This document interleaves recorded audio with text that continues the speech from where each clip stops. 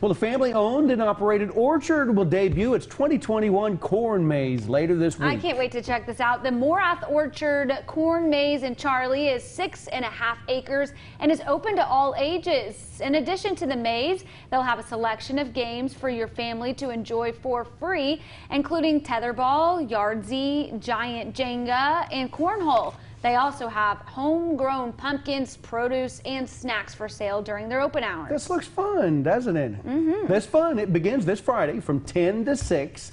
They will also be open on Saturdays, 10 to 6, and Sundays, 2 to 6. Now, for a complete list of fall hours and prices and events coming up, just head over to TexomasHomepage.com. Can't wait to check that out at some It looks like fun. I, I envision like Halloween. Yes. You know, too. At night, going they'll have some there. night mazes Yes. for sure.